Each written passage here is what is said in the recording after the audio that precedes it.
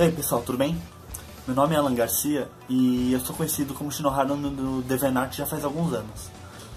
Eu tava enrolando um pouquinho pra poder gravar isso aqui porque eu sou muito tímido e ficou bem sem jeito pra poder gravar assim, falar, mas é um assunto bem importante, então achei importante é, fazer um vídeo pra, pra conversar com vocês um pouquinho.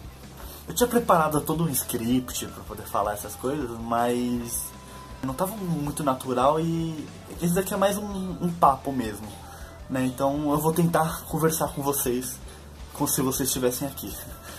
Para quem não conhece meu trabalho, eu faço uma espécie de, de vector art, que eu pego artes pequenas, né, é, qualidade baixa, e faço, refaço elas, redesenho elas em uma qualidade muito maior. Tipo uma, uma arte de 300 pixels, né, bem pequenininha, eu faço ela 8000 por 8000. Fica muito grande, bem bonito. O meu foco, né, o que eu estou mais acostumado a fazer é de animes e de games. Mas eu eu tenho vários, vários estilos para poder fazer. Às vezes as pessoas até duvidam que sou eu que faço todos eles, mas sim, sou eu. Eu faço, além do, de animes e games, eu também faço é, HQs, faço cartoon, crossovers, faço et é, com censura e HCines, que são sem censura. Fora essas artes normais, eu tenho também os projetos pessoais que eu comecei é, recentemente, que como eu gosto muito da franquia Pokémon, eu queria é, fazer alguma coisa relacionada a eles também, né?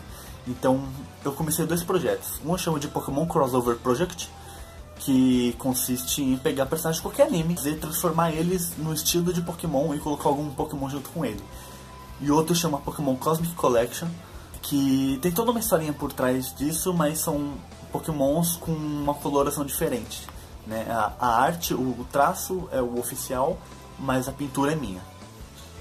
Como esses projetos é, além dos crossovers, né, é alguma coisa mais minha, não é nada que tem na internet e eu só estou refazendo, são projetos pessoais mesmo, é algo que eu gostaria de focar. Só que eu não tenho muito tempo para isso. Lá para metade de 2016, é, a empresa que eu trabalhava fechou. E só que lá, é, lá que eu comecei a desenhar é, digitalmente e o meu, meu amigo, meu chefe me incentivou a continuar isso por causa que era o que eu fazia, era o que eu gostava.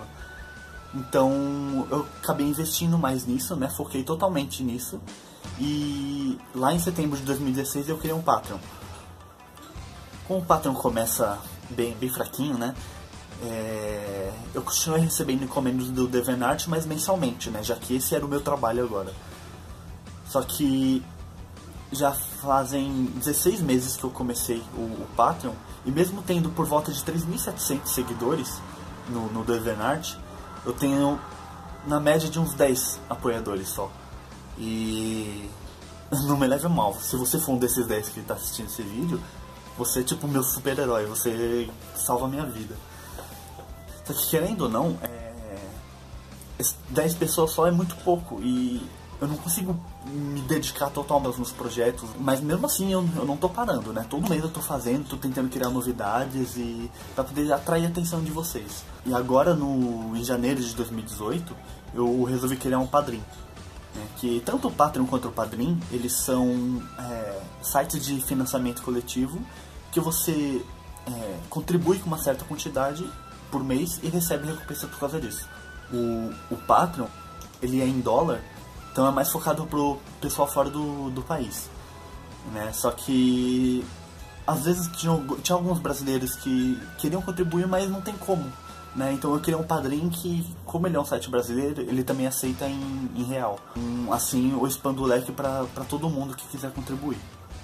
Como um artista, é, o que eu tenho a oferecer como recompensa são as minhas próprias artes. Né? Tudo que eu faço no mês, praticamente tudo que eu faço no mês, é, eu vou adicionando recompensas e de acordo com o valor dessa contribuição você recebe certas recompensas.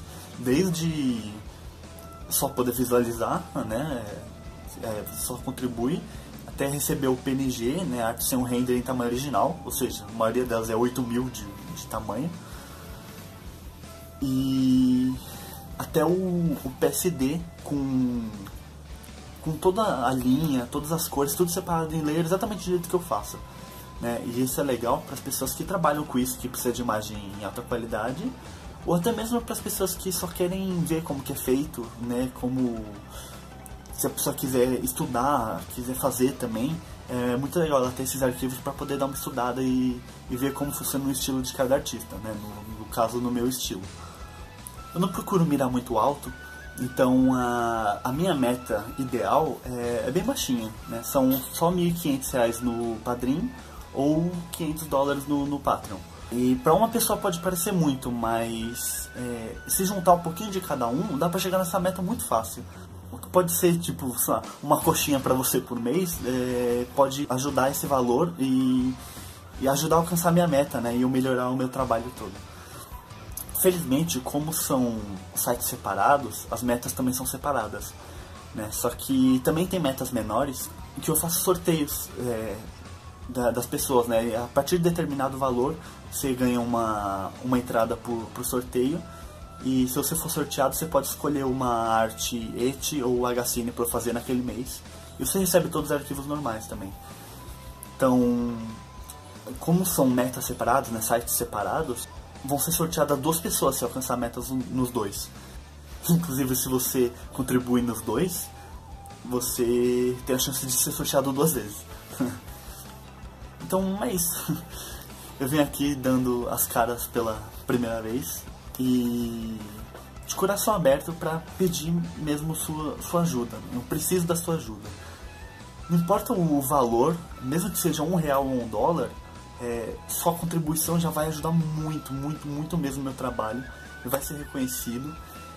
E mesmo que você não possa doar, é, você pode compartilhar esse vídeo, pode compartilhar meu trabalho, porque quanto mais pessoas verem, é, mais chances tem de das pessoas gostarem do meu trabalho e querer investir. Obrigado pela sua atenção. É, desculpa pela qualidade do vídeo, né? Tô tendo que gravar com o celular. Mas é, é isso. 진짜